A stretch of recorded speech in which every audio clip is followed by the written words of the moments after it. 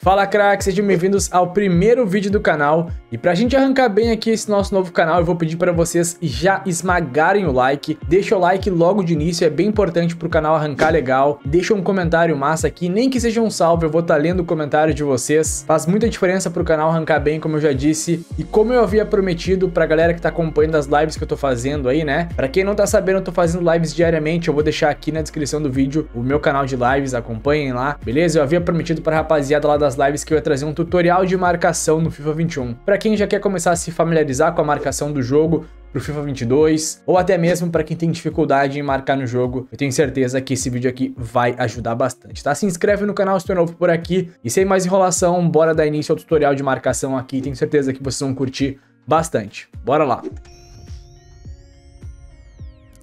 Bom, galera, vamos lá então. É, eu vou basicamente definir quatro pilares aqui para esse nosso vídeo tutorial de marcação. O primeiro deles é marcar com volante, rapaziada, ou meia central.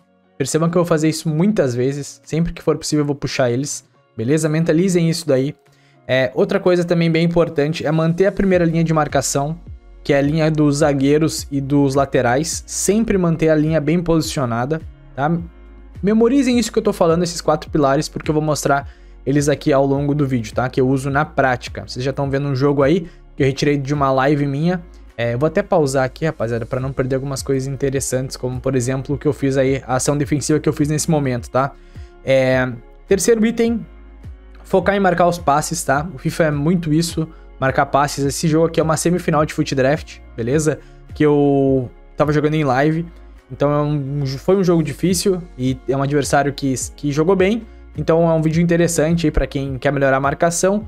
E o quarto item da lista aí, né? O quarto pilar da, da boa marcação, digamos assim, né? O, quatro, o quarto pilar que a gente vai é, usar como base aqui nesse vídeo é fechar os espaços, tá? Então, marcar com volante e meia centrais, manter a primeira linha de marcação, linha dos zagueiros e, e laterais, focar em marcar os passes e fechar os espaços. E eu vou mostrar tudo agora aqui na prática, tá? Começou o jogo aí, eu já fiz 1 a 0 né? É, meu adversário tá com a posse de bola, tá atacando. É, ó, deu uma, infiltrou a, bola, deu o passe em profundidade, né? O que aconteceu, galera? Vamos voltar aqui, vamos rever de novo esse lance, tá? O meu time é bem ofensivo, tá? E eu uso pressão no erro. Então, o meu time subiu a marcação, subiu a pressão ali, né? Ó, e eu tentei fazer a marcação com o meu meio campista aqui, ó, se vocês repararem. Vou voltar um pouquinho. É, eu tentei fazer a marcação com o meu meio campista. Ó, o time subiu a pressão sozinho, né? Eu tô com vaso aqui, a seta, né? Onde tá o meu mouse. Não vou desenhar porque vocês estão vendo aqui meu mouse. Né? Tentei avançar na marcação, ele deu esse passe aqui pro meio, eu acho que ele deu um passe meio assim, tipo, ele não viu o jogador ali, o passe meio que na sorte, né? E esse passe quebrou o meu meio campo. Vocês lembram que eu falei para vocês, né? De marcar com os volantes, né? E marcar com... Aqui tá meu lateral direito. Esse aqui é meu zagueiro da direita e meu zagueiro da esquerda. E aqui meu lateral esquerdo. Percebam que abriu tudo, né? Meu meio campo, porque é muito devido à minha instrução, que eu uso pressão no erro. Esse passe que ele deu ali, que ele encontrou no meio. Aqui tá o meu meia central. Aqui tá meu, meu meia central da esquerda, meu meia central da direita e... Pasmem. Onde tá o meu mouse aqui, rapaziada? Né? No final do vídeo aqui à esquerda, eu vou... Aqui, ó, onde eu risquei ali, esse aqui é o meu volante. Por isso que eu falei que é importante, né? Marcar com, com os volantes para não abrir esse buraco aqui que abriu, né, rapaziada? Bom, beleza, né? Tá feito aí já, né? A M já abriu o buraco, já abriu o espaço. O que acontece? Vou ter que focar em marcar, né, rapaziada? Com esses jogadores aqui, ó. Como que eu tenho no momento o meu zagueiro da direita, que tá aqui, né? Acho que tá dando pra ver aí, né? O que eu pintei aqui. Zagueiro da direita, marcando o atacante dele que tá correndo aqui nas costas do meu jogador, né, rapaziada? É um lance difícil de marcar, né, galera? É um lance bem difícil de marcar, é, porque ele já tá correndo, o atacante tá em direção a minha, ao meu gol ali, né? E o meu zagueiro tá de costas, ele tá com a bola aqui com o Rashford. Fica fácil para dar esse passe aqui, né? É, e o meu outro zagueiro tá marcando o Ronaldo, né? O Ronaldo Fenômeno ali, tá? Então, vocês ve ve vejam aí, né? Como complica para fazer a marcação quando não tem o volante. Ele deu o passe, só que acontece? Vocês viram aí que eu marquei com esse jogador aqui, ó, porque eu vi que o passe era ali, né? Era a... Vocês têm que pensar assim, onde que tá o maior perigo de ele chegar perto do meu gol? é nesse jogador que tá correndo. Obviamente ele vai tentar esse passe aqui, né? Então, ó, aí eu consegui fazer a marcação certinho, acompanhei, apertando o R1, apertando o L2, né, para posicionar certinho o meu, o meu defensor. Ele tá vindo numa superioridade numérica, né? Eu tenho três jogadores e esse aqui da esquerda tá praticamente morto, esse cara aqui, né? Esse cara aqui da esquerda tá bem paradão. Basicamente, minha marcação tá sendo com esses dois aqui, né? E ele vem com essa trinca de jogadores aqui para tentar envolver minha defesa, né? O que, que eu vou fazer? Vou só cercar, rapaziada. Vou só cercar e usar o nosso segundo pilar, que é manter a linha de marcação. Tô mantendo aqui com esses dois jogadores, tá? Podem ver isso daí. Tô mantendo aqui e aí ele vai atacar. Veio, pá, e ele precipitou, né, rapaziada? Ele precipitou e eu mantive a nossa linha de marcação. Então eu não consegui fechar os espaços com volante ou com meias centrais, que é o primeiro pilar, mas no segundo pilar eu consegui manter a minha linha defensiva e retomar a posse de bola, tá? Foi basicamente isso que eu fiz nesse lance. Agora ele também tentando manter a linha defensiva dele, ó, o segundo pilar, ó, só que ele tirou um zagueiro, ó, ele pode abrir um espaço para um jogador meu infiltrar, né? Acabou não acontecendo. Tô organizando, ele tá marcando com os volantes, ó, meias centrais, e eu tô trabalhando a posse. Consegui encontrar um mano a mano aqui, ó. Aqui eu consegui envolver, consegui tirar a linha de marcação dos meias centrais dele, né? Pogba tá eliminado, esse camisa 8 que eu não sei quem é também tá. Que aconteceu? No FIFA isso é muito interessante, a gente tem que sempre é, criar situações onde o nosso atacante fiquem mano a mano com a defesa. Aqui, ele tá com a seta meio perdido, né? Tem o passe, o Haaland já tá infiltrando, eu dei o passe puxando um 2, né? E aí bola tá com o Messi. Vamos ver o que vai acontecer nesse lance, confesso que nem eu lembro o que vai acontecer, né? Vamos ver se ele, se ele for vir em cima do Messi, provavelmente o Haaland vai infiltrar sozinho. O certo seria marcar essa linha de passe aqui, ó. Ele tem que ficar na trajetória da bola, mantendo a linha defensiva bem posicionada, que é o nosso segundo pilar. Percebam que é só basicamente isso que eu uso para marcar, né? São esses quatro pilares que eu passei para vocês, ó. Acabou que ele conseguiu manter ali a linha, eu não consegui achar o espaço, né? Eu vou trabalhar a bola. Consegui um drible, já invadi, deixei a defesa dele mano a mano e aí consegui fazer o segundo gol, tá, rapaziada? Por quê? Porque ele deu mole na marcação um para um, né? Percebam aí, vamos de novo. Conseguiu rodar a bola, ele tentou marcar com o volante, dei o... Ó, aqui eu botei para correr com o Messi, né? Dei o tapa no fundo aqui. Aí eu tirei esse jogador da jogada, né? Até preciso rever aqui para ver se foi exatamente isso que aconteceu, mas acredito que sim. Vamos ver. Ó, ele tava me marcando exatamente com o meia central dele, né? Marcou mal, na minha opinião, ele não tava segurando o, L, o botão de correr e o L2, porque esse jogador tinha que estar tá virado de frente pro meu boneco, não assim de lado, como ele tá né? É, e aí eu consegui dar o ratão, que a gente chama, né? Ó, passei liso por ele. Ele foi marcar, rapaziada. O boneco dele tava de costas pra cá, ó. Quando na verdade o boneco dele tinha que estar tá de costas pra cá. Pra poder proteger o gol dele, né? Que é o que deveria ter, sido feito, só que ele não fez. Aí ele já ficou perdido. Esse boneco que ele perdeu, porque ele movimentou protegendo aqui, né?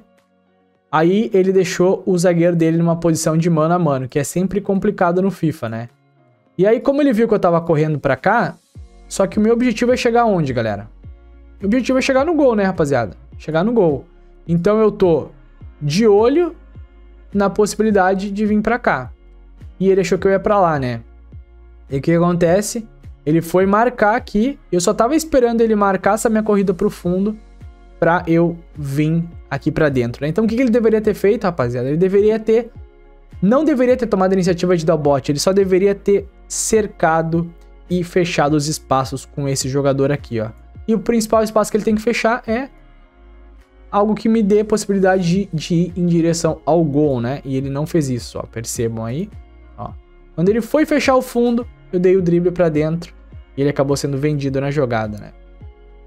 É, a gente tá aí com, com alguns exemplos. É que assim, rapaziada, a marcação, ela é muito em cima disso. Obviamente vão acontecer algumas situações de jogo mais específicas, é, porque a marcação é algo complexo nos jogos de futebol.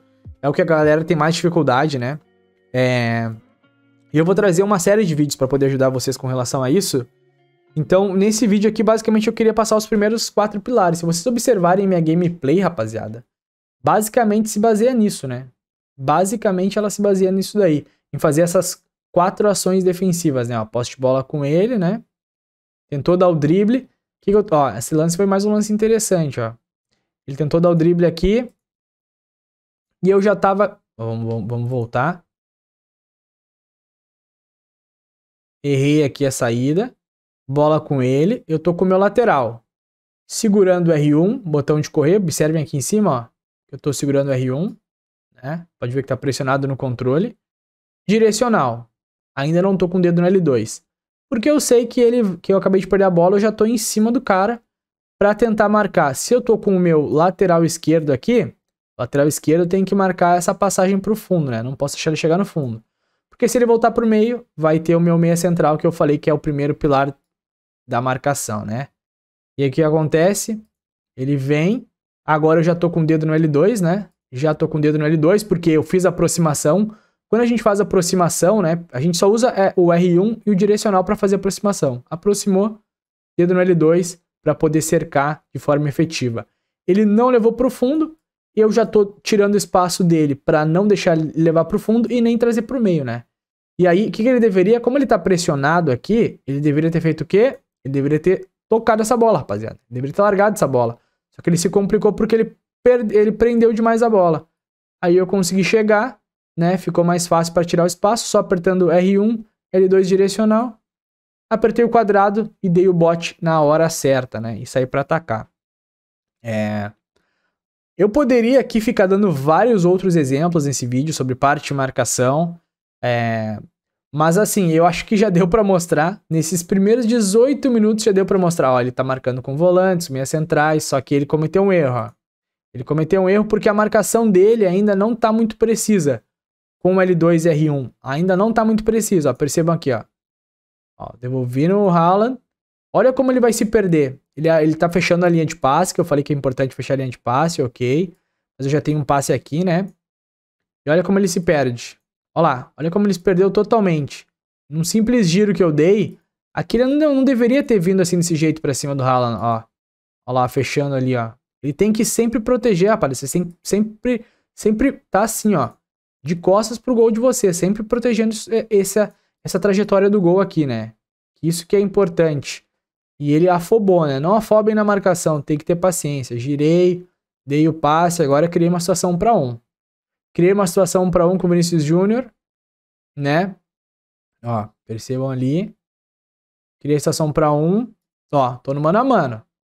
Vinícius Júnior e o Cancelo. Qualquer deslize que ele cometer aqui, eu já vou dentro do gol, ó. Errou ali o bot, acabou fazendo a falta. Eu já ia passar. Ele, tem, ele tinha que ter cercado um pouco mais, tido, tido um pouco mais de paciência, né?